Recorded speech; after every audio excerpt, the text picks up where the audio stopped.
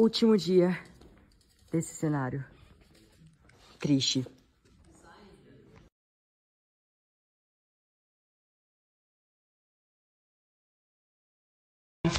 Trabalhar. Mas é uma diversão acima de tudo. Estúdio, estúdio, estúdio, estúdio. Tem que fazer silêncio. Inclusive é o último dia nesse cenário, por isso que eu tô gravando esse vídeo. Porque, por exemplo, aqui tem a porta que dá pra lavanderia. Tem todos os... Lavanderia não, banheiro. Tem todos os detalhes de um banheiro real.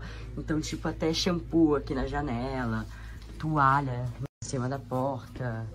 E aí aqui também tem a cozinha, por exemplo, que tem todos os detalhes reais, assim, de uma cozinha real. Xícara.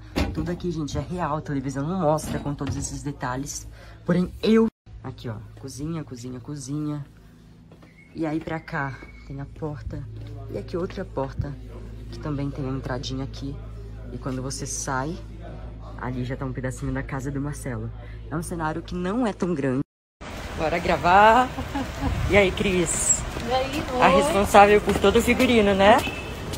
E aí, mais uma equipe aí. Várias Exatamente. mãos. Agora a gente tá indo pro estúdio 8. É, eu fui maquiagem lá na Casa dos Artistas, agora indo pro estúdio 8.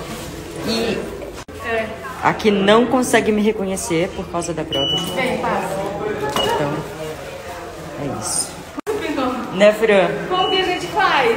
E outra coisa, eu não consigo mexer no celular por causa do touch. Eu uso uma caneta e eu fico parecendo um velho usando essa caneta pra usar meu celular. Essa canetinha é sensacional. Já virou a minha marca. Virou marquinha de JP. Minha marca já é a caneta.